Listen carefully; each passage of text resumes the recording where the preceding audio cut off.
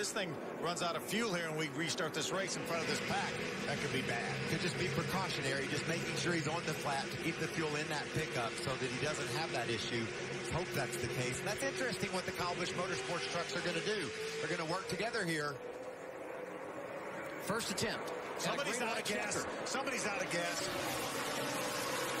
Clay Greenfield out of fuel. As we come to the green flag for our first attempt at a green-white checker. And look at Ryan Blaney getting a shot from Erik Jones in that outside lane trying to grab the race lead as they go off a of turn two. Dead even right now as they exit turn two. How about Jeb Burton jumping in the outside? He has a little bit of help up there. That's Joey Coulter behind him. Also getting a push from Spencer Gallagher, the third truck in line in that outside lane, and now they blend back in. A great move, picks up a couple of spots. Now he's a player. Timothy Peters hugging that preferred inside line, but a shove now coming from the outside. Ryan Blaney with help from Erik Jones as they come through the tri-oval. White flag will go in the air this time. No manufacturer help there. We've got a Toyota leading, a Chevrolet pushing him, a Ford running second, and a Toyota pushing him. Timothy Peters led that lap by two one hundredths of a second. What can Jones do? Can he get the move? Can he get a hold to the back of the 29 truck of Blaney and push him ahead? Or what's Jeb Burton going to do to the outside? He's got some help from Tyler Young in the 0-2 truck. Look at Tayler Malsam with the shove. He's giving Timothy Peters down low, who is now pulled away a bit. That middle lane drifting back. Here comes Jeb Burton outside. That's Spencer Gallagher leading that wide group. Matt Crafton, our championship leader, has worked his way back into the top five. And a move being made in that outside lane. Peters pulls high to block. Now look down low. Fontaine is there. Timothy Peters stretching away. Can he hold him off? back in your mirror. Yes, he can. Timothy Peters gets the checkers here at Talladega. Run over. Great job.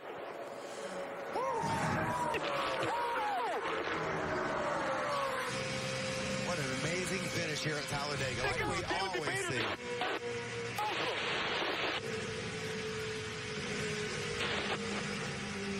Here we go for a little overtime at Talladega.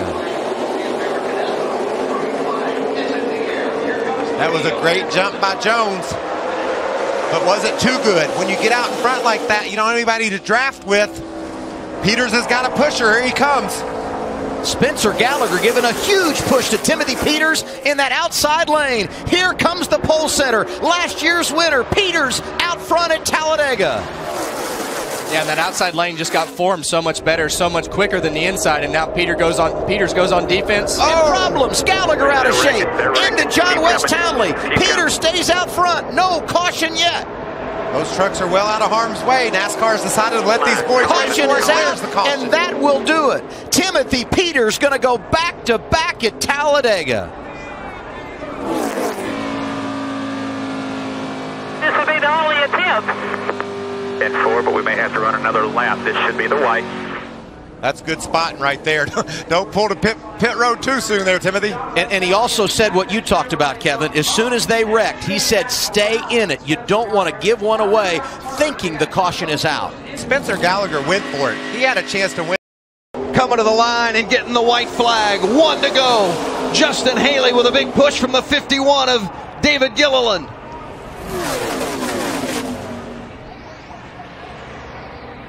side by side, Haley and Gragson. Some contact with the 25 of Peters. And Gragson goes around. And we're wrecking. And they're wrecking at Talladega. And Peters was ahead when we saw that caution. Timothy Peters, a two time winner at Talladega. And Noah Gragson sits in disappointment. Well, I think so. And Timothy Peters will get his third Talladega win.